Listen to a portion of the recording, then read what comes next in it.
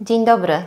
Witajcie, kochani, bardzo, bardzo serdecznie. Ja, jak zwykle, z tego miejsca z ogromną radością przychodzę do Was e, i z ogromnie e, dużym uśmiechem i otwartym sercem. Zresztą w kosmetologii świadomej, o której będziemy sobie dzisiaj tutaj mówić, która jest kontynuacją e, pierwszego filmu, który wprowadzał Was w świadomą kosmetologię, serce i umysł mają być otwarte.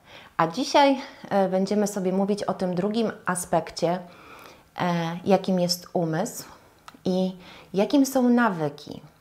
Ten film ma na celu króciutko przybliżyć Wam temat i zachęcić do tego, byście sięgali dalej.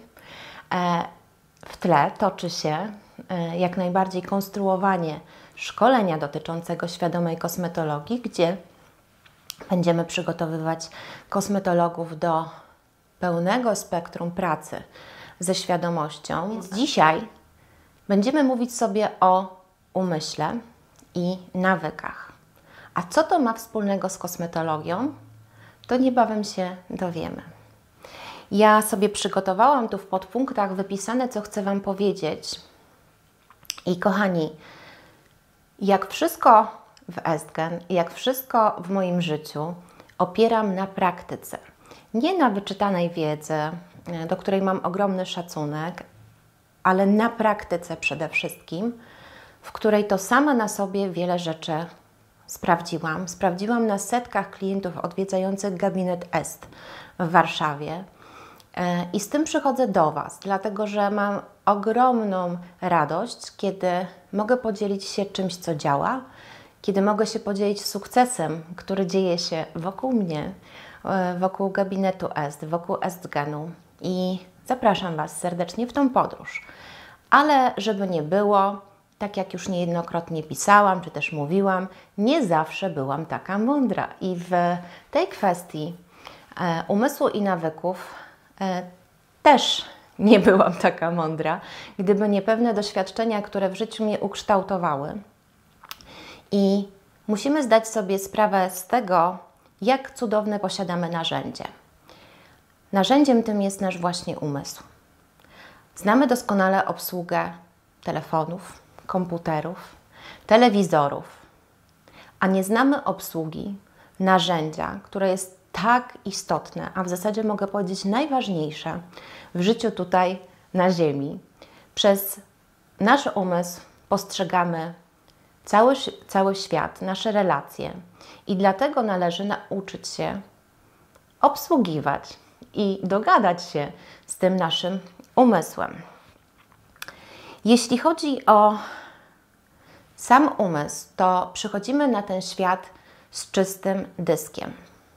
Czyli możemy nasz umysł porównać do komputera.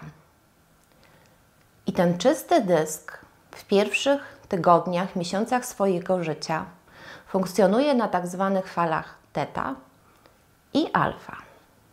Są to fale, w których osiąga się mm, stany medytacyjne i wiedza jest bardzo łatwo przyswajalna. I teraz takie młode, młody dysk zostaje przez swoich rodziców zaprogramowany. Zostaje zaprogramowany przez społeczeństwo, przez szkołę i później na tak zwanym autopilocie 90% swojego życia przeżywa. I w kosmetologii świadomej, w ogóle w życiu świadomym, bo od tego się zaczęła moja przygoda, czyli od świadomego życia, jest tak, że rozpoznajemy to, iż autopilot, na którym działamy, nie mamy do niego sterowników ani przycisków.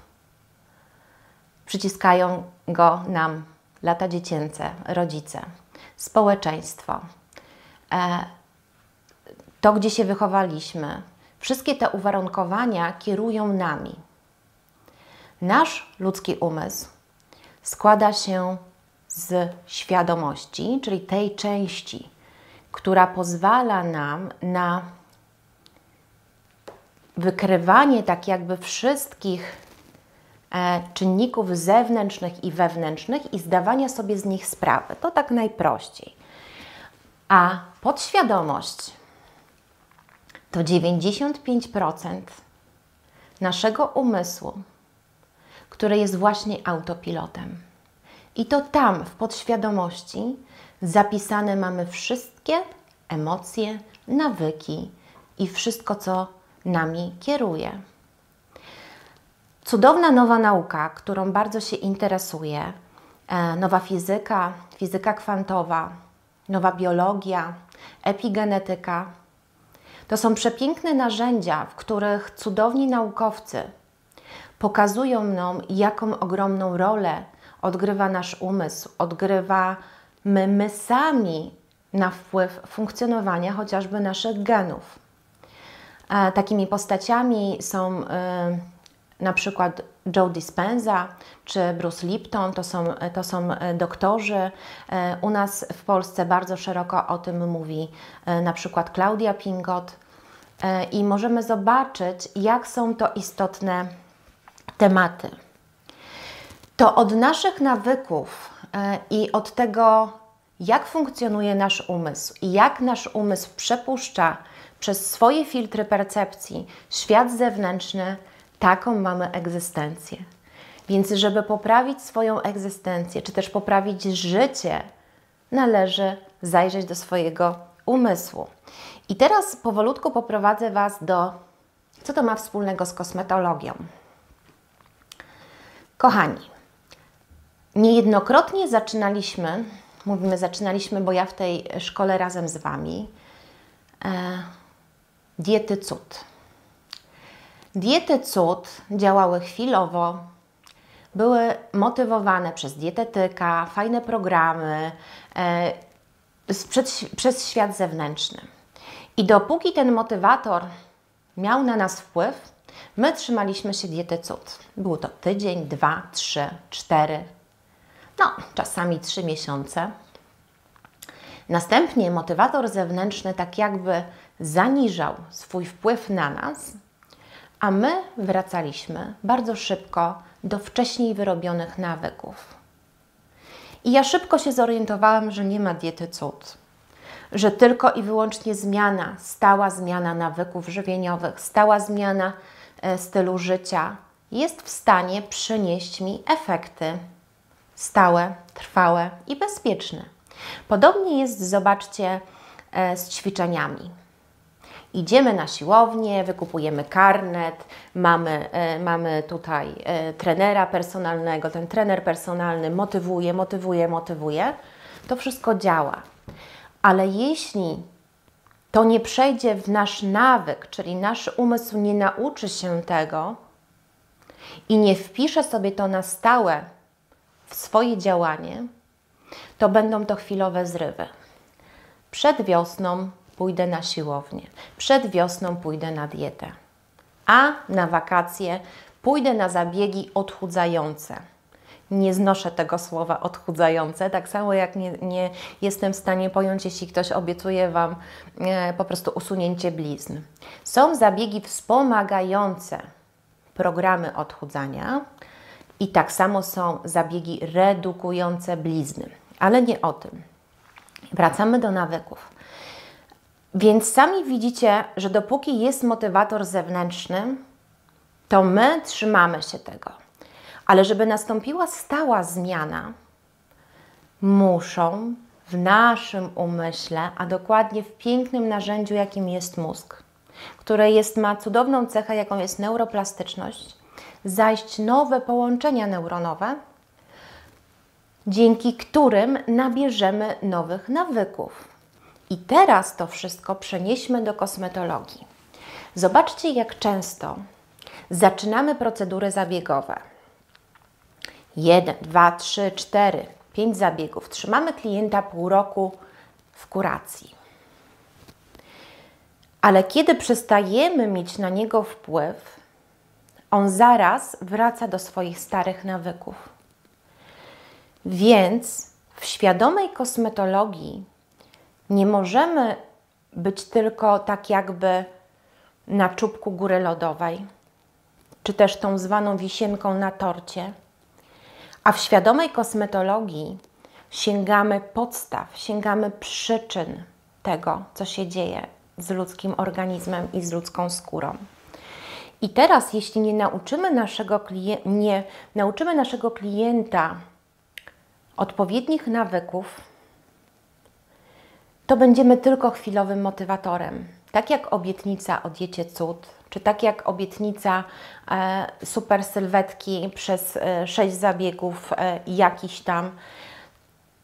Mm, rolą świadomego kosmetologa jest pokazanie klientowi, że jedynie trwała zmiana nawyków, zobaczcie, żywieniowych, stylu życia, e, równowaga rytmu okołodobowego, to wszystko wpływa na naszą cerę. Niebawem będziemy mówić o oddechu, medytacji. E, już nie mogę się doczekać, bo to ma też niesamowity wpływ na e, jakość naszego życia, a tym samym na jakość naszych komórek, komunikacji międzykomórkowej i tam też leży taki mały kluczyk do młodości i witalności.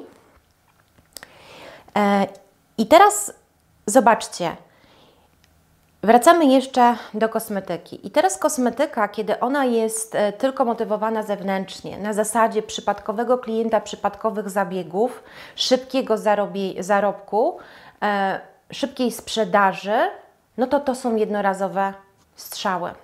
Świadomy kosmetolog chce pracować ze swoim klientem i chce z nim spędzić lata, jak nie do końca życia, jak ja to mówię. Moje klientki mówią, słuchajmy Ci tutaj, jak będzie trzeba, to wiesz, jakiś wózeczek sprawimy, okularki takie jak, jak denka od butelek, bo Ty z nami do końca życia. E, I ja Wam takiego, takiej relacji życzę. Dlaczego tak nastąpiło? Dlatego, że ja swoich klientów nauczyłam nawyków. Moi klienci, jeśli przychodzą ze swoimi dziećmi nastoletnimi, my się uczymy nawyków pierwszej kolejności podstawowych nawyków mycia buzi, mycia skóry w ogóle i tej podstawowej pielęgnacji. I ja przez wiele lat swojej pracy y, obserwowałam to, że absolutnie te chwilowe motywatory to są chwilowe efekty. Stałe efekty osiągamy, kiedy zmienimy nawyki na, na stałe, kiedy zmienimy nawyki u podstaw. Mamy piękne narzędzia, y, którymi możemy się posługiwać. E, mamy pięknych specjalistów, y, zarówno w świecie medycznym, jak i medycyny naturalnej, niekonwencjonalnej, którymi możemy się posługiwać do tego, by wzmacniać naszego klienta, jeśli chodzi o tworzenie nowych nawyków. Przygotowałam tutaj Przygotowałam tutaj dla Was młodą osobę. 19, e, 19 lat, od 14 roku życia, zmagającą się z trądzikiem, przeszła przez wszystkie kuracje dermatologiczne, e, sięgnęła wszystkich kosmetyków, przypadkowych kosmetyków i trafiła do gabinetu. Zaczęłyśmy pracę standardowo, czyli e, od konsultacji i od poznania klienta, ale w momencie, kiedy dziewczyna za każdym razem mówiła o sobie źle, była w przekonaniu, że jest nieatrakcyjna, że nienawidzi siebie, nienawidzi swojej skóry, że ona nigdy nie będzie taka piękna jak inni, to ja wiedziałam, że muszę tak wypracować z nią mm, porozumienie, aby nauczyć się innego myślenia o sobie. Dlatego też skorzystałyśmy z wielu narzędzi, takich jak uwalnianie emocji, odprogramowywanie umysłu e, z programów, czy też z kodu emocji. Są to cudowne narzędzia, które, o których możecie sobie poczytać, możecie e, wykonać je dla siebie, a być może w przyszłości możecie klientów kierować do, do specjalistów, bądź też same posługiwać się nimi. I w momencie, kiedy zmieniłyśmy przekonanie na temat tego, iż ta dziewczyna jest e, obciążona genetycznie, to pierwsze. Długo kasowałyśmy program obciążenia genetycznego, bo rzeczywiście, jak już nauka dowodzi, to epigenetyka e, pięknie pokazuje nam, jak mamy wpływ na geny i że geny to niewielki procent e, tego, co na nas wpływa. Kolejny program to były lata leczenia i bez skutku, czyli mojej cery nie da się wyleczyć i praca tu znowu u podstaw. Praca w zmianie przekonań. mnóstwo uwięzionych emocji, takich jak wstyd, strach, apatia i bezsilność. Zmieniłyśmy nawyki żywieniowe, ułożyłyśmy dobrą pielęgnację, e, zmieniłyśmy cykl okołodobowy. Pracowałyśmy przez kilka miesięcy razem, powolutku wdrażając aktywność oddechową, czyli nauczyłyśmy się spokojnego oddechu, który równoważy nam e, hormony, który wpływa na nerw błędny. Uczyłyśmy się medytacji i to nie jest tak, że ja z tą osobą e, podczas zabiegu tylko o tym, bo ja tylko dawałam wskazówki. Możesz korzystać z medytacji tej i tej. Mamy fantastyczne medytacje, które mamy nagrane na mm, naszym kanale. Możesz korzystać z odkodowywania programów z takiego i z takiego nagrania.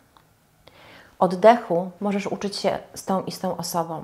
Wszystkie te narzędzia są za darmo w internecie. E, fantastyczne osoby to prowadzą i możemy odsyłać do tych ludzi. Rezultat naszej pracy jest trwały. Już można powiedzieć, że ponad rok osoba ta nie ma żadnych zmian, jeśli chodzi o stany zapalne skóry.